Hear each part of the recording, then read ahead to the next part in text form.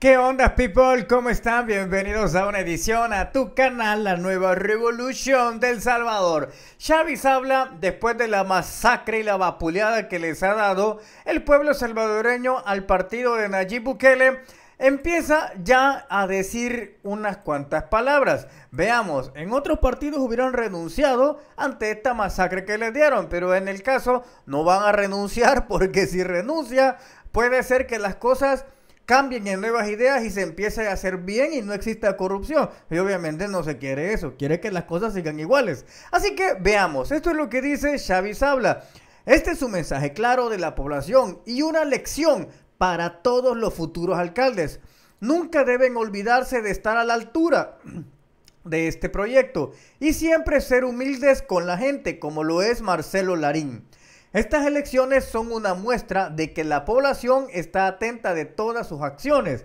Quiere decir que no ha servido el trabajo de adormecimiento que estuvo haciendo el señor Walterengo y Romeo Lemos, porque ellos ya no tienen credibilidad alguna y está por el piso todo lo que ellos dicen.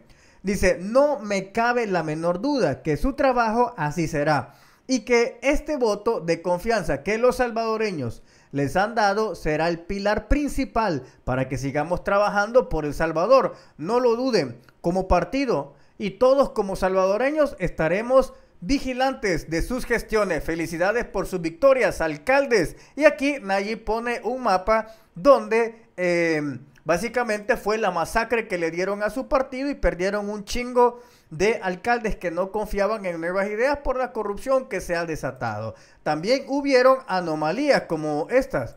Vamos a ver. Para introducir todos los datos, Oiga. es necesario que tengan internet. No, para introducir los datos se va a trabajar en- sin internet. Supuestamente va a ser un poquito más rápido, aunque dicen también la de soporte técnico que siempre puede haber el problema de duplicar eh, papeleta. Eh, Así que hay que estar pendiente del número total de papeletas para ver si se han duplicado y si se han duplicado tenemos que eliminarlas.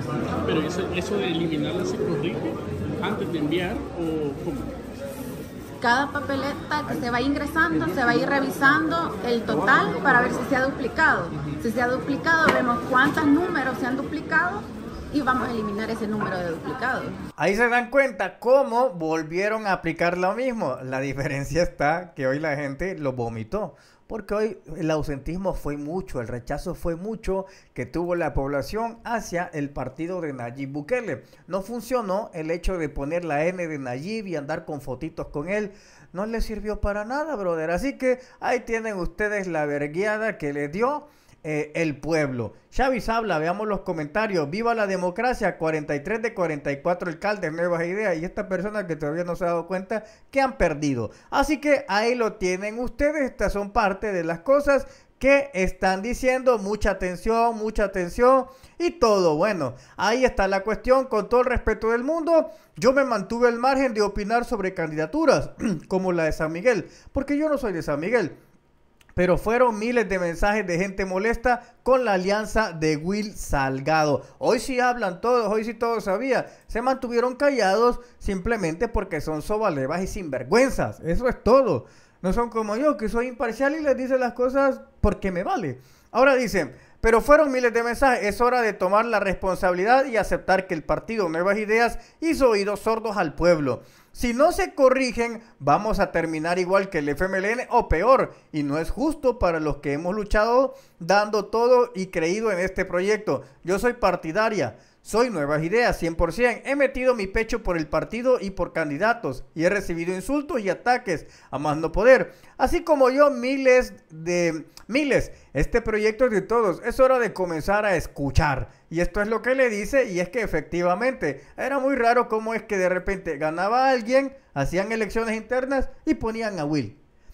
Ganaba otro y ponían a Will. Y así fueron muchas veces. Aquí hay una gran corrupción. Y Xavi Sabla debería de ser destituido ya de una sola vez por estos resultados pésimos. Aunque realmente eh, hay que destacar que él no se metía mucho en las decisiones de país como lo hacían antes los areneros y los frentudos. No, ahí le ha valido.